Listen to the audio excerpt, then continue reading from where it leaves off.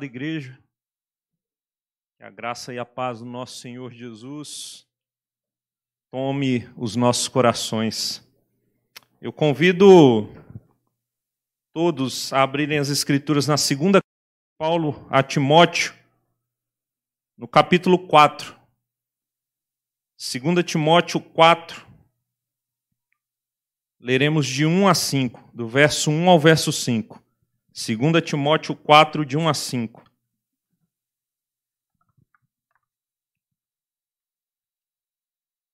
Aqueles que acharem e puderem, não se incomodarem, por favor, fiquem de pé.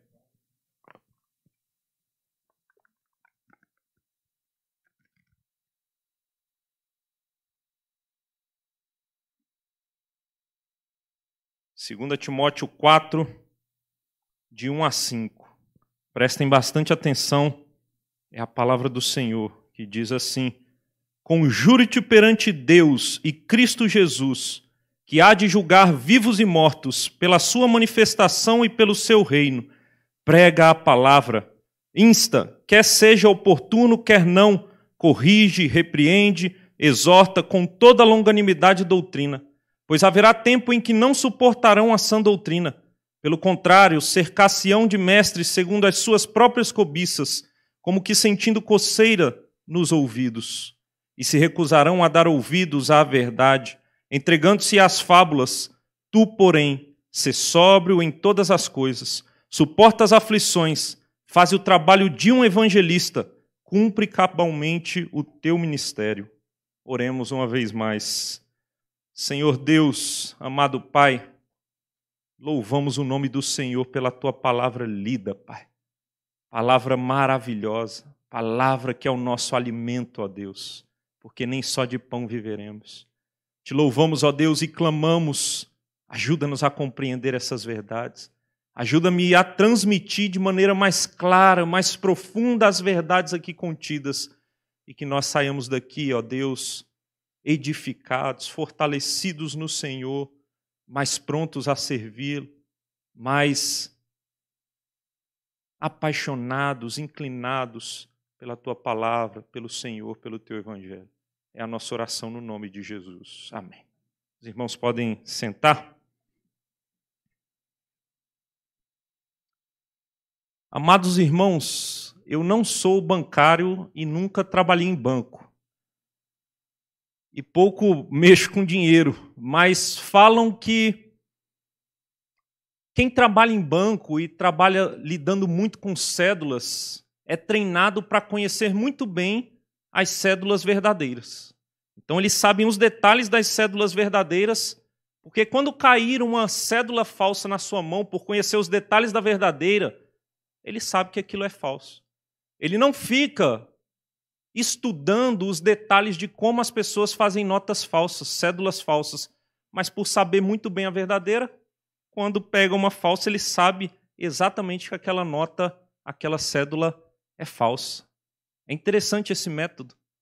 Na verdade, pensando neste método, eu faço um paralelo e penso nos nossos dias. Há algo que acontece com muita recorrência, mas de maneira falsa, que é a pregação. Nas Escrituras, desde sempre, houveram falsos mestres, falsos profetas.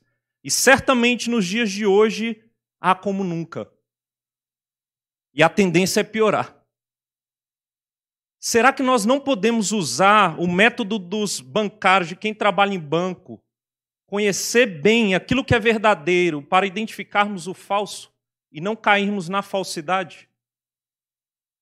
Certamente as Escrituras nos falam sobre o que, sobre características de um pregador fiel.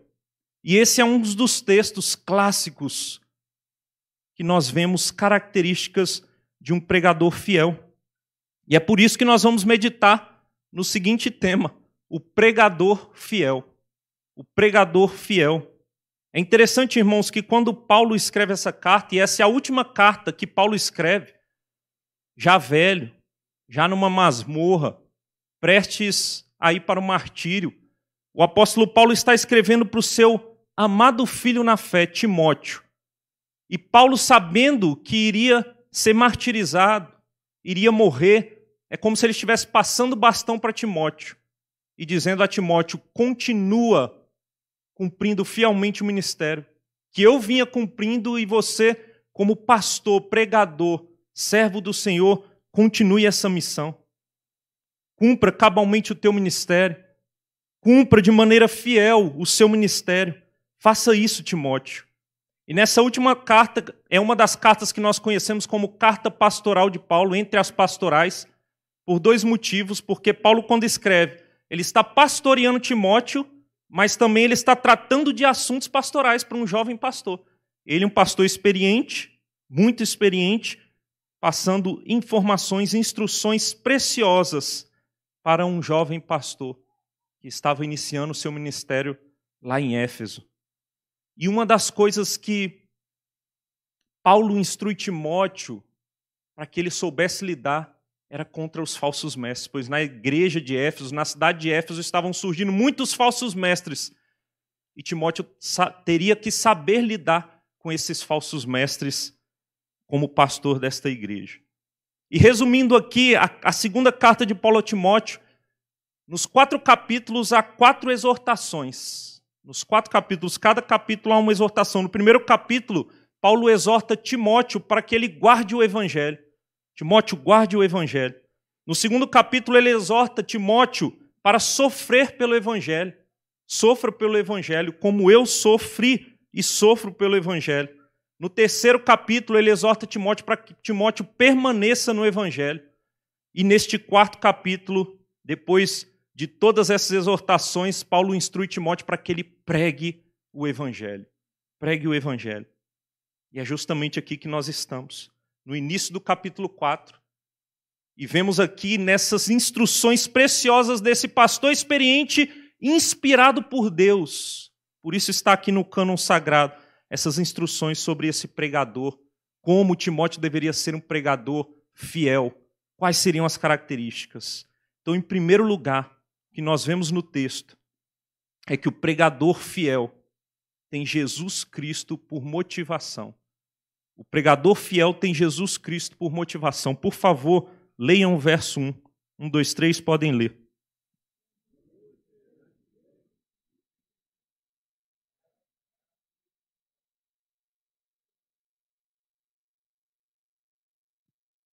Maravilha.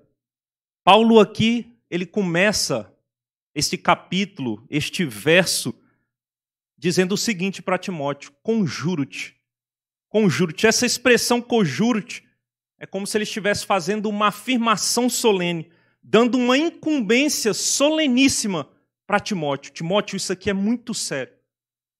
Você está fazendo isso aqui, eu estou te colocando sob juramento para que você exerça esse ministério de maneira fiel. É isso que Paulo está fazendo, é algo muito sério. E é interessante porque ele continua dizendo que é perante Deus conjuro-te, solenemente eu afirmo, eu te convoco para que diante de Deus e Cristo Jesus, é o que Paulo diz aqui. Meus irmãos, ele está dizendo para Timóteo o seguinte: você tem um ministério para cumprir. Você, e ele vai falar aqui do ministério da pregação da palavra, você é um pregador, um pastor. E esse ministério que você tem você está exercendo ele diante de Deus. Você vai exercer ele diante de Deus. Diante de Jesus Cristo, ou Cristo Jesus. É interessante, irmãos, porque quando olhamos para este nome Jesus Cristo, tem gente por aí, eu sei que nenhum de vocês acha isso, mas tem gente que acha que Cristo é o sobrenome de Jesus. Mas não é. Cristo, meus irmãos, é Messias em grego. E Messias é Cristo em hebraico. Quando ele fala Cristo Jesus ou Jesus Cristo, ele está falando acerca daquele que era o prometido para salvar o povo de Deus. Era aquele ungido de Deus, escolhido de Deus, que viria para salvar o seu povo. É diante de Jesus, o Cristo, que Timóteo é incumbido desse ministério maravilhoso, glorioso, sofrido sim, mas glorioso da pregação da palavra. E Timóteo sabia muito bem isso. Timóteo foi instruído por sua mãe e por sua avó e conhecia muito bem o Antigo Testamento. Elas que eram judias, então ele sabia bem o que significava ser o Cristo. Não é diante de qualquer um que eu estou sendo incumbido dessa missão, é diante de Jesus, o Cristo, o meu Salvador, aquele que veio para salvar o seu povo, o Deus que encarnou, é diante dele que eu estou sendo incumbido. Ele sabia bem, irmãos, ele sabia bem quem era Jesus, ele sabia quem era a pessoa de Jesus Cristo, e ele sabia a obra maravilhosa que Cristo havia realizado. E é diante dessa verdade que ele é incumbido para a missão. E essa se torna e deve ser a motivação para que ele exerça o seu ministério. Meus irmãos, e isso mostra algo precioso para nós. O pregador da palavra, a motivação dele deve ser Jesus Cristo. Ele deve conhecer a pessoa e obra de Jesus Cristo, e somente a partir do momento que ele entende de fato quem é Jesus Cristo e o que Cristo fez, o Deus encarnado, o Salvador, é que ele vai se tornar um pregador fiel, é que ele vai exercer um ministério fiel. É com essa motivação, não pode ser outra motivação. Mas além de entender quem era o Cristo, o texto diz para nós, ainda no verso 1, Jesus Cristo, ou Cristo Jesus, que há de julgar vivos e mortos. Além de saber quem era Jesus, que ele era o Cristo, ele sabia, sabia que Jesus voltaria, que Jesus veio na sua primeira vinda, encarnou, mas ele voltaria e ele voltará na sua segunda vinda. Isso é certo e ele anunciou essa verdade. E ele, vir, e ele virá para julgar vivos e mortos, todos serão julgados diante do Senhor. Todos. Aqueles que estiverem vivos quando ele voltar, vivos, e aqueles que estiverem mortos, que ressuscitarão, estarão diante do grande juiz. E essa verdade evoca duas coisas para nós aqui: que a pregação e esse ministério deveria ser exercido com um senso de urgência, porque pecadores, pecadores precisam ouvir o evangelho urgentemente, porque quando o Senhor Jesus voltar, todos serão julgados. O pregador tem que ter esse senso de urgência. O pregador tem que pregar sabendo que pecadores, se morrerem sem Cristo, serão condenados para todo sempre. Para todo sempre, irmãos. É para sempre. Não tem fim. Vai pagar porque pecou contra um Deus eterno para todo sempre. Pecadores fiéis têm o um senso de urgência, mas além disso, eles entendem a sua responsabilidade, porque eles também prestarão contas no último dia diante do Senhor. Se foram fiéis ou não exercendo esse ministério. É por isso que Tiago diz, quando escreve sua carta, que não muitos devem desejar se tornarem pregadores, mestres, porque esses terão grande responsabilidade. É grande responsabilidade que esses pregadores têm. E o pregador fiel, ele entende isso. Que ele foi incumbido diante de Jesus, o Cristo, e que esse voltará para julgar vivos e mortos. Meus irmãos, como é importante entendermos isso. Tanto os pregadores que são ministros do Evangelho, mas todos aqueles que pregam a palavra de alguma forma, seja um pregador leigo, que pregue, que compartilhe esse púlpito dessa igreja, por exemplo, ou qualquer outro púlpito, ou você que de alguma maneira transmite a mensagem para pessoas, tem esse senso de urgência e de responsabilidade. Tem esse senso de urgência e responsabilidade. Diferentemente, pregadores infiéis, irmãos, pregam por qualquer outro motivo, que não seja Jesus Cristo, sem senso de urgência e sem qualquer tipo de responsabilidade. Pregadores infiéis, e há muitos por aí, pregam por dinheiro. Quantos pregam gananciosamente? Sobem num púlpito, abrem igrejas interessados no dinheiro. E as Escrituras falam muito sobre isso, inclusive na carta de Paulo a Timóteo, dos gananciosos. E há muitos pregadores por aí pregando por ganância. Mas não somente isso, há pregadores que pregam por reconhecimento, para serem conhecidos porque acham legal, acham bom estar diante de muitas pessoas.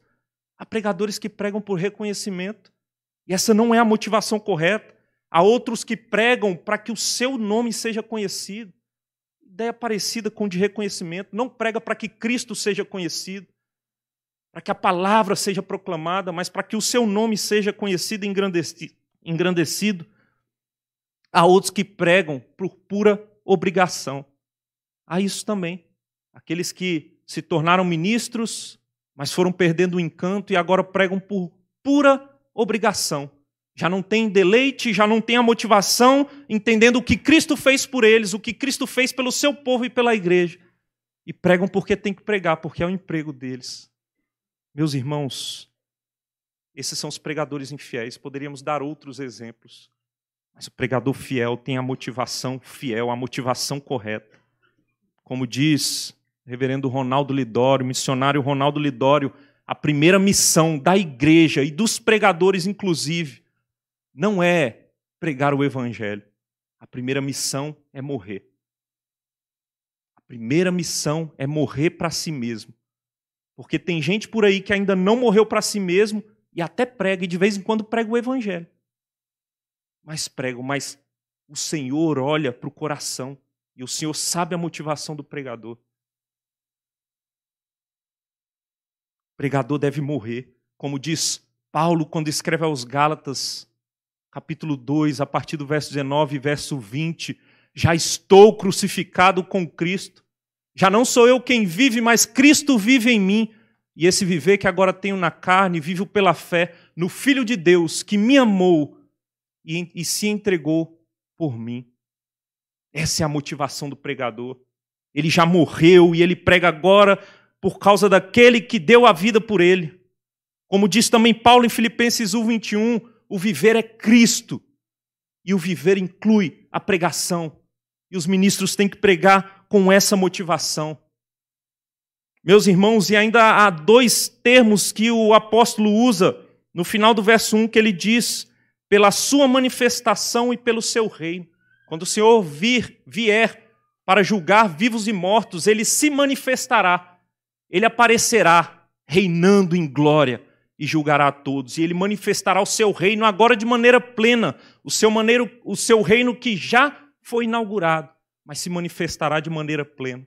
E os pregadores, inclusive, além de pregarem, motivados por quem Jesus é, entendendo que estão perante do próprio Deus, perante o próprio Deus, entendendo o que Cristo fez por eles, eles também têm um fim, um objetivo, e é fazer Cristo conhecido. Sim, ele se manifestará de maneira plena a todos, tanto os crentes como os ímpios verão Cristo, o Senhor, na sua segunda vinda. Mas enquanto ele não vem, não vem, os pregadores precisam anunciar para que ele seja conhecido.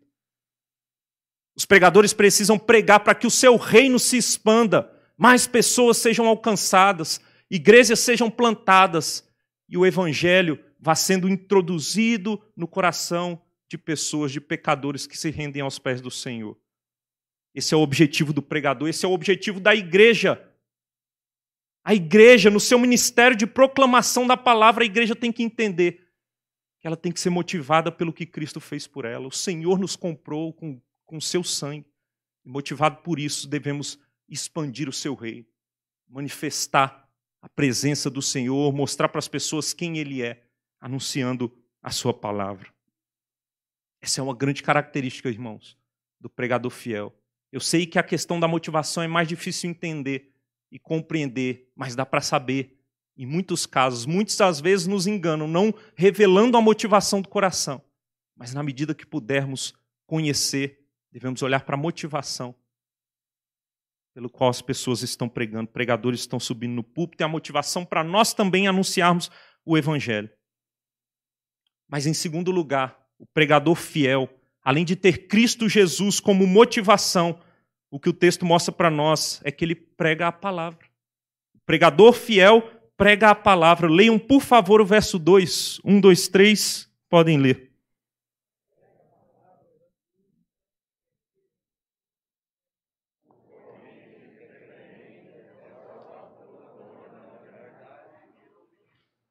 Meus irmãos, aqui nós temos algo que parece muito óbvio, mas só parece, não é.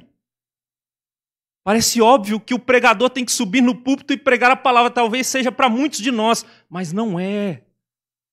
No evangelicalismo brasileiro não é tão normal assim. E talvez muitos de nós que estejamos aqui também não achem isso tão normal assim. Acha até normal que seja que alguém suba num púlpito e pregue qualquer outra coisa.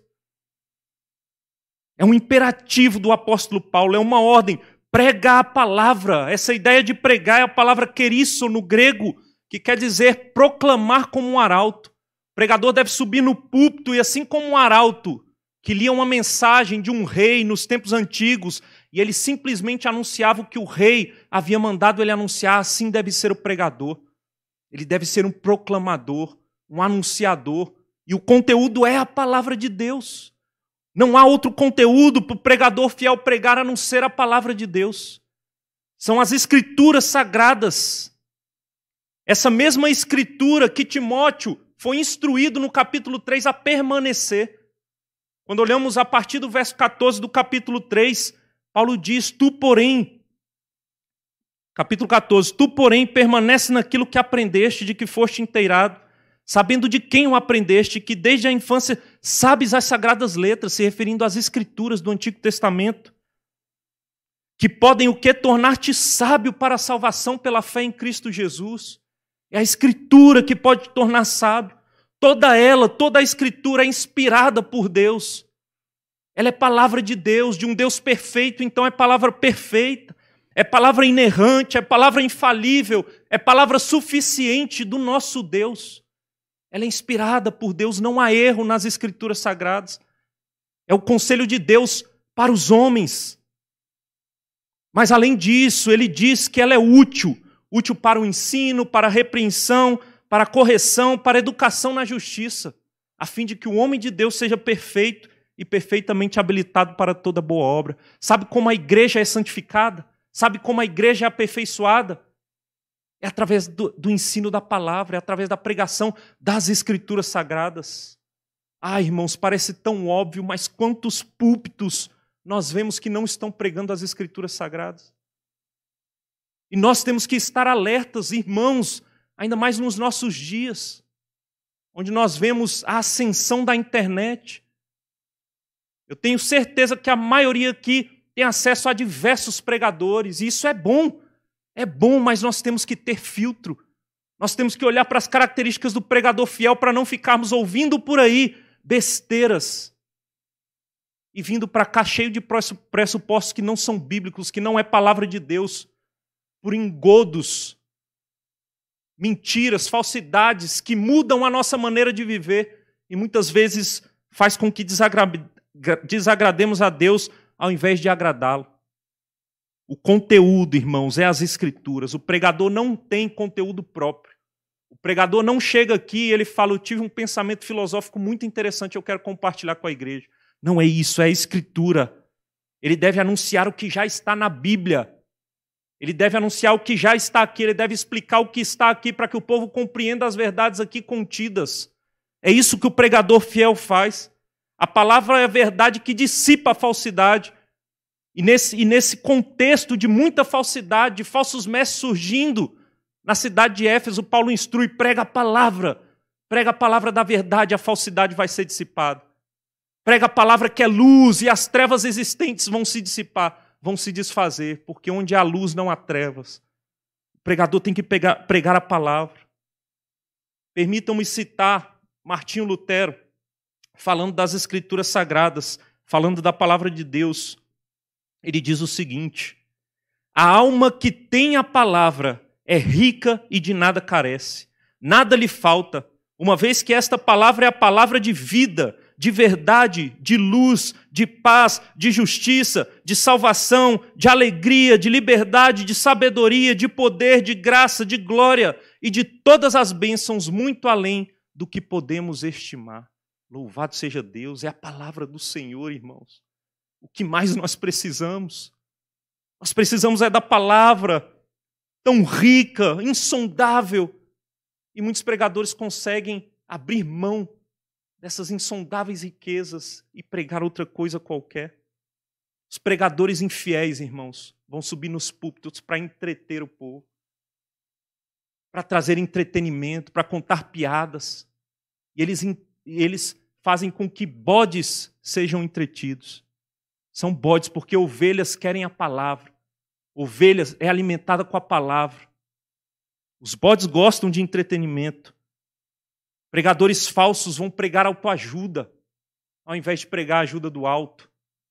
Ao invés de pregar a vontade de Deus, vai falar da vontade humana, dos conceitos humanos, para que as pessoas se sintam melhor.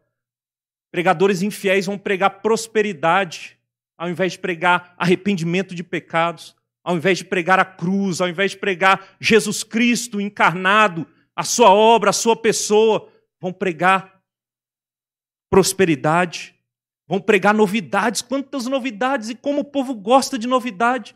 Meus irmãos, nós devemos nos voltar para o velho, para o antigo evangelho para a antiga boa nova, ao invés de querermos descobrir a roda. A roda está aqui, o evangelho está aqui, o que nós precisamos está aqui, a palavra de Deus está aqui, o cânon está fechado. As seitas que surgiram porque pessoas se disseram profetisas ou profetas com novas revelações. Não, nós temos o cânon fechado. Pessoas creem em coisas que são contrárias à palavra porque acreditam em novidades gospel por aí. Sempre surge um pregador ou outro falando que descobriu algo que ninguém ainda sabia nas Escrituras. Mentira!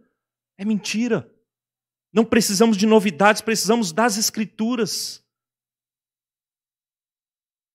Pregadores que sobem no púlpito para pregar psicologia, sociologia, filosofia baseado em antropologia humanista, contrária à antropologia bíblica, nem compreender o ser humano.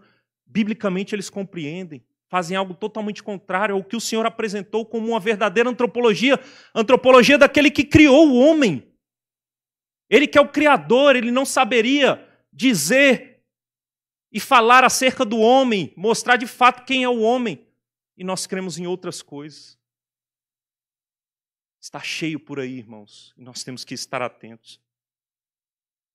Mas falando desse imperativo para pregar esse conteúdo que a palavra ele diz insta. Insta aqui, meus irmãos, não é para pregar no Instagram não, viu? Não tem nada a ver com isso.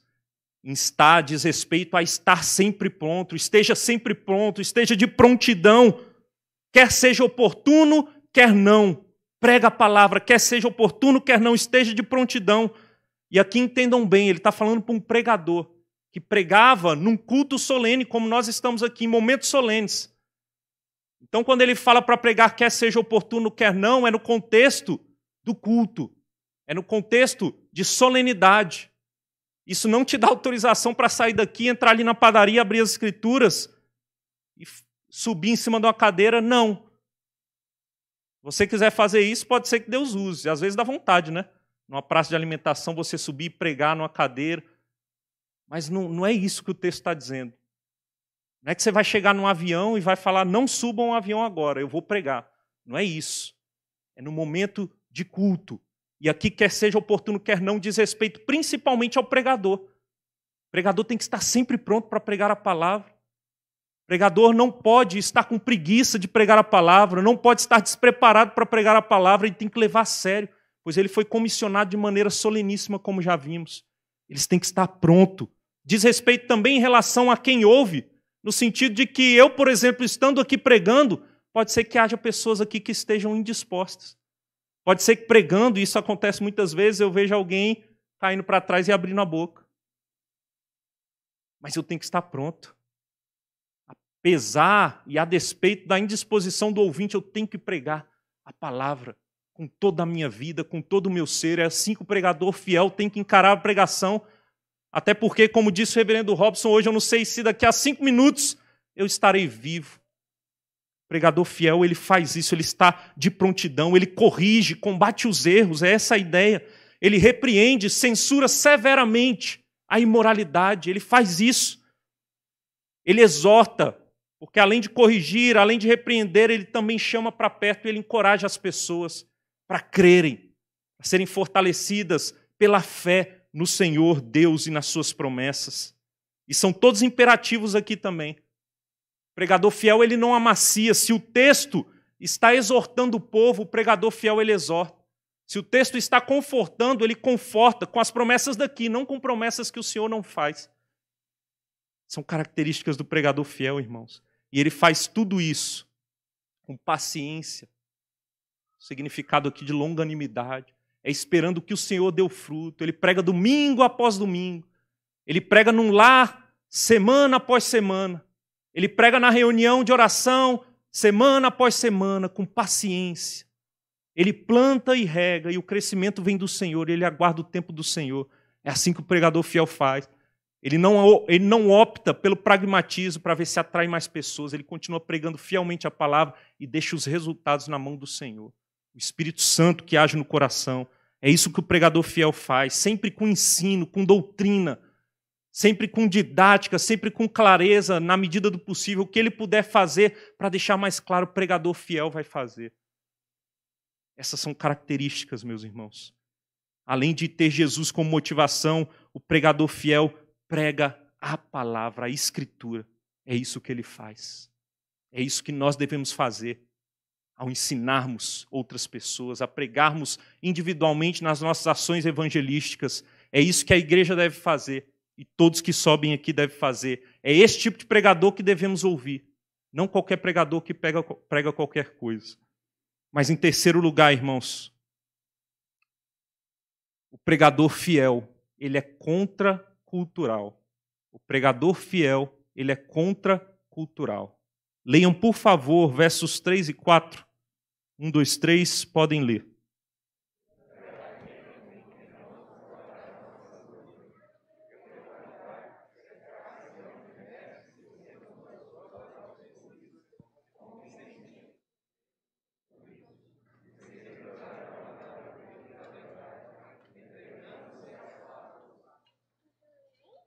Irmãos, isso aqui foi registrado e aconteceu há aproximadamente dois mil anos atrás. Aproximadamente dois mil anos atrás, no primeiro século da era cristã. E já aqui, esse tipo de coisa estava acontecendo. Já aqui haviam pessoas que não suportavam a sã doutrina. E quando Paulo diz que haverá tempo, pois haverá tempo em que não suportarão a sã doutrina, a ideia de que a coisa iria piorando. A coisa iria piorar. Imagine dois mil anos depois, Cláudio. As pessoas não suportam a sã doutrina. Há muitas pessoas. Obviamente aqueles que não são do Senhor. Eles não suportarão a sã doutrina. Eles não tolerarão, é a ideia de não suportar, eles não, não haverá tolerância com a sã doutrina, irmãos. Olha para os nossos dias. Há uma grande, um grande clamor por tolerância no nosso mundo. Abra as Escrituras e fale de Cristo para você ver a tolerância. Há uma grande súplica nos jornais, na televisão, na internet por tolerância. Abra as redes sociais e você vai ver alguém pedindo por respeito e tolerância. Agora fala de Cristo e aguarde a tolerância. Veja se as pessoas vão ser tolerantes. Esses dias eu vi um ativista dizendo nas suas redes sociais que o nosso Estado é laico. Estava clamando para que parassem de falar de Jesus. É a tolerância que estão clamando. Não há tolerância com as Escrituras. Se não havia aqui, hoje é que não há. E a tendência é piorar. E o texto ainda diz para nós, o apóstolo Paulo diz, pois haverá tempo em que não suportarão a sã doutrina, pelo contrário, cercar-se-ão de mestres segundo as suas próprias cobiças, como que sentindo coceira nos ouvidos. Meus irmãos, percebam, o verbo cercar-se-ão, ele é importante de nós entendermos. Porque às vezes as pessoas colocam a culpa no falso mestre, que está enganando pessoas, mas a culpa não é só do falso mestre. O cercar-se-ão é um verbo que está na voz ativa e não passiva. Quem vai se cercar de falsos mestres são as pessoas, porque elas vão querer ouvir aquilo que seus corações pecaminosos desejam. É isso que nós vemos nos nossos dias também. As pessoas não suportam a sã doutrina e elas vão ouvir falsos mestres porque esses prometem aquilo que está no coração pecaminoso delas. O desejo de riquezas, o desejo de posses, o desejo de ser reconhecido, o desejo de ser de, de arrumar o melhor casamento, coisas que às vezes até são listas, mas se tornam ilícitas no coração porque são ídolos. E eles vão atrás daqueles que prometem essas mentiras. Eles vão atrás e se cercam desses mestres mentirosos, e é o que acontece. As pessoas não dão ouvidos para o que devem fazer, mas para o que querem fazer. Os ouvidos das pessoas não estão abertos para aquilo que o Senhor fala sobre o que elas devem fazer, mas o que elas querem. Aí elas abrem os ouvidos para ouvir aquilo que elas querem, aquilo, aquilo que elas desejam. É interessante que o verso 3 mostra para nós que eles rejeitam a sã doutrina, ou seja, a doutrina sem erro, preferindo as suas cobiças, do coração deles enganoso. E o verso 4 diz para nós que eles trocam a verdade por fábulas. A palavra fábulas aqui é mitós, de onde vem a nossa palavra mito. Eles preferem mitos, mentiras, do que a verdade, a verdade de Deus. Porque essas mentiras, essas mentiras, afagam o ego dessas pessoas. Essas mentiras inflam o peito deles, prometem aquilo que eles querem. E os pregadores fiéis estão fazendo isso. Está cheio de pregador fiel por aí fazendo isso. Falam o que o povo quer ouvir, irmãos, não o que o povo precisa ouvir. É o que o povo quer ouvir que eles estão falando. Afagam o ego, prometem o que Deus não promete prometem o que Deus não promete. Alguém já disse para você, por exemplo, e eu vou chegar nesse ponto aqui, mas eu vou adiantar. Alguém já te disse que se você buscar ser santo, você vai ser perseguido? É desconfortável, né? É desconfortável, mas é o que as Escrituras nos diz. A Escritura não nos diz que se formos fiéis vamos ter casa própria. Nunca disse isso. Não diz. A Escritura não diz que teremos um bom emprego se dermos o dízimo direitinho. Não diz isso. A Escritura promete outras coisas, e a principal delas é que se nos arrependermos e crermos no Senhor, seremos salvos. Essa é a promessa das Escrituras. Mas os pregadores fiéis estão prometendo o que Deus não promete. Se olharmos para as Escrituras, o próprio profeta Jeremias, lá no Antigo Testamento, foi perseguido por pregar a palavra de Deus. Como profeta, ele anunciava aquilo que Deus o entregava para anunciar, e por isso ele foi perseguido. Entretanto, os falsos mestres daquele tempo, o povo exaltava, porque os mestres mentiam. Falava que o povo de Deus, o povo de Israel, não seria castigado por idolatrar. Não, eles iriam prosperar. Negócio de Babilônia, de caldeus que vão punir, não vai acontecer isso. Era a mensagem de Jeremias. Eles iam na contramão, pregando diferente pregando aquilo que o povo queria ouvir, pregando aquilo que a cultura do povo fazia com que eles desejassem. Pregador fiel é contracultural. Ele não prega o que querem ouvir, ele prega o que Deus manda, o que Deus diz. Meus irmãos, quantos de nós ouvimos por aí pregadores que falam o que a gente quer ouvir? Às vezes a gente procura pregação justamente aquilo. Eu queria ouvir uma palavra, sabe, para eu me sentir bem, para eu me sentir amado. Não que as Escrituras não mostrem isso para nós, é porque a mensagem do Evangelho é a, a, maneira mais clara de nos sentirmos amados. É porque o próprio Deus diz, Deus próprio seu, prova o seu próprio amor para conosco pelo fato de ter Cristo morrido por nós, sendo nós ainda pecadores. Mas a gente gosta de ouvir é que a gente é o ponto fraco de Deus. O ser humano se cerca desse tipo de mestre que diz que eu sou precioso demais para Deus que eu mereço. Eu mereço o reino de Deus porque eu sou bom, porque eu sou alguém legal. E essas não são verdades bíblicas. Temos que estar de olho, irmãos. Templos cheios não são evidência de fidelidade. Lembrem-se disso, porque tem gente que mede seu ministério pelo templo se está cheio ou não. Fidelidade no ministério é, é, é pregação. Sucesso no ministério é fidelidade. Isso que é sucesso, e não templos cheios. Porque se fosse por templos cheios, esses que estão prometendo que Deus não promete estão abarrotados, não cabe de gente. E as pessoas estão se cercando desses mestres. Pensem nisso, irmãos. Pensem nisso. Ao ouvirem pregações, a indicarem pregações e ao pregarem, a ensinarem pessoas. Orem para que os pregadores que vocês ouvem preguem fielmente a palavra e sejam contraculturais. Não queiram os aplausos, mas queiram a aprovação do próprio Deus. Mas por fim, irmãos, vamos caminhar aqui para o fim. Tem o quarto e último ponto. O pregador fiel, em quarto e último lugar, persevera como evangelista. O pregador fiel persevera como evangelista. Leiam o verso 5, por favor.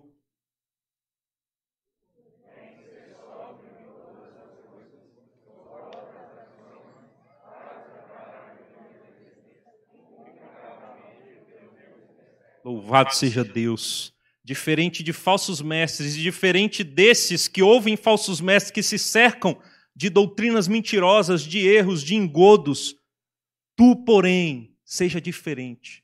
Tu, porém, conjunção adversativa, diferente destes, caminhe de maneira diferente. Você é diferente, Timóteo. Você não deve ir junto com a maré. Você não deve ir junto com a cultura. Você deve viver de maneira contracultural. Você é diferente deles. Seja sóbrio. Seja sóbrio. A ideia de equilibrado. A ideia de não se deixar intoxicar por essas mentiras. A ideia de ser estável. Não ceda para a cultura, Timóteo.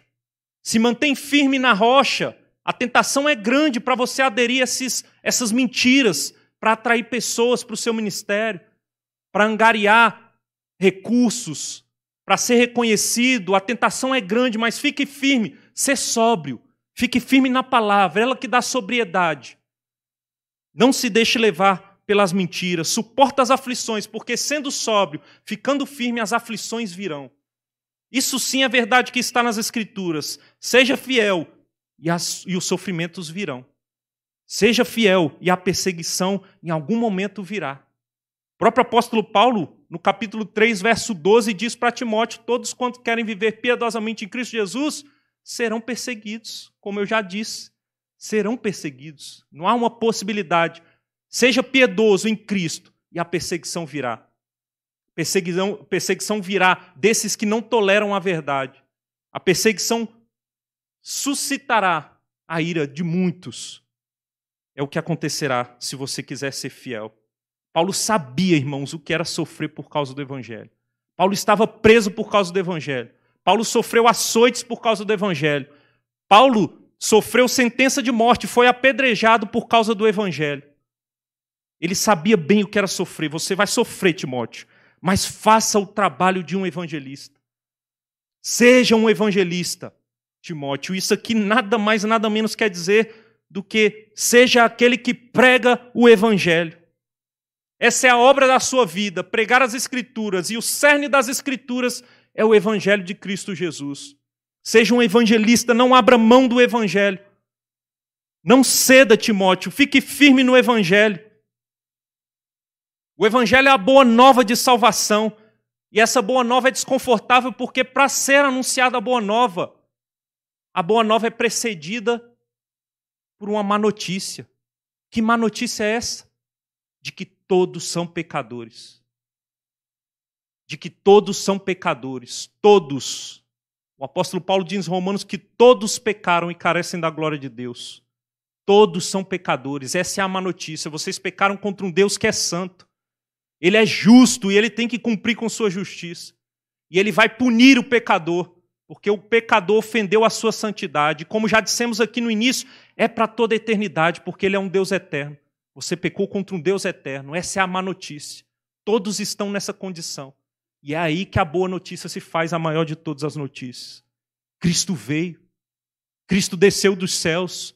Cristo abriu mão da sua glória. Cristo te amou a ponto de encarnar e se humilhar se fazendo homem. Vivendo como servo, ele deu a sua própria vida, levando sobre si os seus pecados. Essa é a grande notícia. Todo aquele que crê é salvo todo aquele que crê. Deus amou o mundo de tal maneira que deu o seu Filho unigênito para que todo aquele que nele crê não pereça, mas tenha vida eterna. Essa é a grande notícia, irmãos. E sabe por que ela é contracultural, inclusive? Sabe por que não são todos os púlpitos e deveriam ser todos os púlpitos que pregam essa mensagem? Todos os pregadores deveriam fazer o trabalho de um evangelista, mas não fazem porque, mais uma vez, essa mensagem é contracultural. Essa mensagem incomoda. Pessoas não querem admitir que são pecadoras, apesar de saberem que são pecadoras, porque, como o próprio apóstolo Paulo diz em Romanos, tendo conhecimento de Deus, não dão glórias a Deus, é o que os pecadores fazem. Mas eles querem viver os seus próprios prazeres, eles não querem se submeter ao senhorio de Cristo. Porque o Evangelho exige isso. Que nos arrependamos e creiamos nos submetendo ao senhorio de Cristo.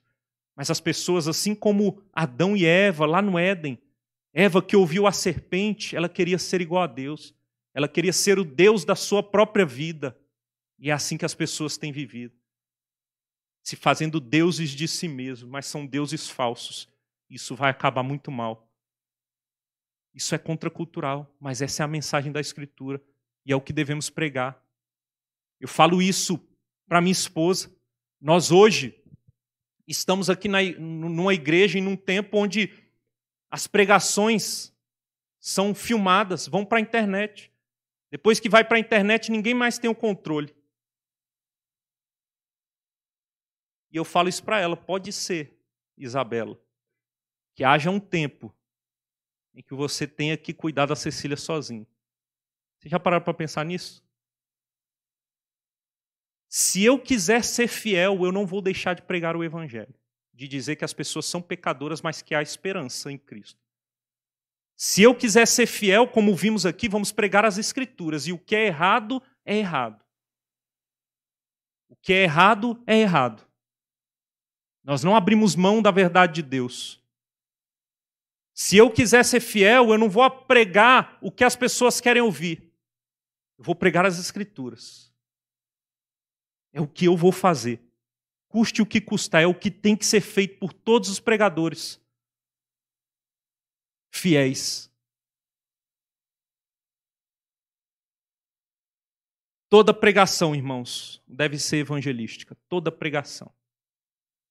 Na igreja de Charles Spurgeon, no Tabernáculo Metropolitano de Londres, certa vez alguém o indagou e disse: Eu não estou mais gostando de te ouvir muito, não.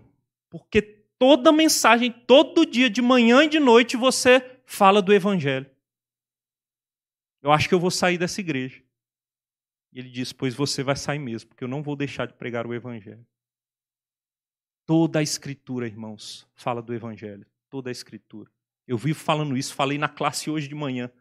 O Evangelho é o cerne, é o centro. Olhe para a pregação dos apóstolos. Olhe para todas as vezes que foi registrado nas Escrituras uma pregação de um dos apóstolos, ou até mesmo do diácono Estevão, ou de qualquer outro no Novo Testamento que tenha uma pregação aqui registrada. Sabe o que, que eles pregavam? O Evangelho. Fosse para judeu, fosse para grego, gentil, onde fosse, culminava no Evangelho. Porque Paulo fez o trabalho de um evangelista e ele diz para Timóteo: faze o trabalho de um evangelista, e é o que devemos fazer. E o evangelho, irmãos, não pode ser aquela mensagem que você diz, eu já conheço, eu já sei, estou cansado de saber. Essa mensagem, todas as vezes que nós escutarmos, deve fazer com que nossos olhos fiquem marejados. Essa mensagem deve mexer conosco. Timóteo tinha que pregar, movido por essa mensagem, entendendo, como lá no primeiro ponto, motivado pelo que Jesus fez por ele, sendo Jesus o Cristo. Pregadores infiéis não pregarão o evangelho. Pode ser que tenha uma pincelada ou outra no evangelho na pregação, mas eles não vão ser fiéis em fazer o trabalho de um evangelista. Caminhando para finalizar este ponto e concluir, irmãos. Fazendo isso, Timóteo estaria cumprindo cabalmente o seu ministério fazendo esse trabalho de evangelista, anunciando o evangelho, ele cumpriria cabalmente seu ministério como o apóstolo Paulo assim o fez. E é por isso que o apóstolo Paulo registra, ou é registrado sobre o apóstolo Paulo. Fala do apóstolo Paulo lá em Atos 20, 24. Eu falo muito desse versículo porque foi o versículo que marcou o meu chamado ao ministério. E ele diz lá em Atos 20, 24: Em nada considero a vida preciosa para mim mesmo contanto que eu complete a minha carreira e o ministério que recebi do Senhor Jesus para testemunhar o evangelho da graça de Deus. Essa, esse era o ministério de Paulo. como pregador do Evangelho. Testemunhar o Evangelho da graça de Deus, anunciar, proclamar o Evangelho da graça de Deus. E ele passa isso para Timóteo. 2 Timóteo 4, se vocês olharem os próximos versículos, acompanhem comigo, na mesma página, versos 6 a 8, Paulo diz: Quanto a mim, estou já, estou já, estou sendo já oferecido por libação, e o tempo da minha partida é chegado. Combati o bom combate, completei a carreira, guardei a fé. Esse é o pregador fiel. Paulo foi fiel.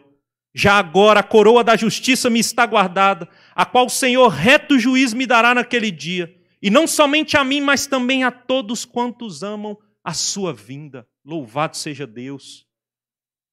Paulo não vivia para esse mundo, irmãos. Aquilo para o qual Paulo vivia era muito maior e era eterno. É para isso que Paulo vivia.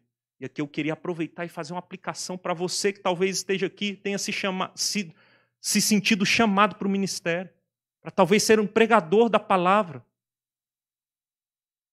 Sabe o que, que te aguarda se você for fiel? Perseguições, sim. Luta, sim. Pessoas se levantando, oposição, sim. Mas também te aguarda a coroa da vida. Seja fiel, não negocie. Nenhum sofrimento do tempo presente pode ser comparado com a glória que será revelada em nós. Sejamos fiéis, irmãos. Por isso, lembrem-se, nesse tempo de internet, vários pregadores por aí, e você mesmo, ao anunciar a palavra, talvez não no púlpito, com outras pessoas, num culto familiar, um familiar seu, lembre-se dessas verdades, seja também um pregador fiel.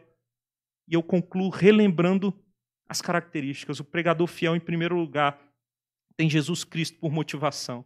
Em segundo lugar, ele prega a palavra. Em terceiro lugar, ele é contracultural. Em último lugar, ele persevera como evangelista. Que o Senhor nos abençoe, levante pregadores fiéis e que nós saibamos e reconheçamos os pregadores fiéis para não cair no erro e não se desviar do caminho. Vamos orar?